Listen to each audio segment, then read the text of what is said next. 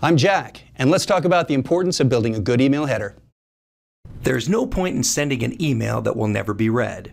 Creating an attractive, personalized, and responsive email will increase your visibility and the chance your contacts will engage.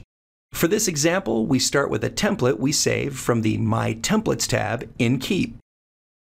Using the recipient field, you can add recipients to the email by clicking the New Search button and searching your contact list for commonalities in any fields from the contact record, including custom fields or tags.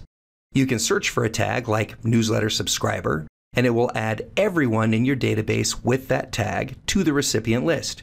You can add more tags or find more contacts using the search feature until you've added all the recipients that you want to receive this email. Next is the subject field.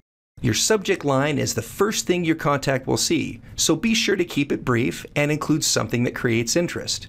In this case, the subject line says, Check out our new offerings. You can also customize this subject line by adding personalized information merged from fields on the individual contact record. You may have heard that personalized emails have a higher open rate than non personalized emails, so in this example, we'll use a merge field from the contact record. By clicking the Merge Field button to the right of the subject line, you can merge any field from the contact record. In this case, we will use the contact's first name. Now each recipient will see their first name in the subject line, which will increase the likeliness that they will open the email. The next line is the preview text line. This appears in the recipient's inbox directly under the email subject. Having preview text will also help to increase your open rate.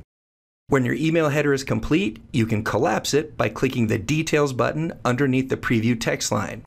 Now you're ready to work on your email.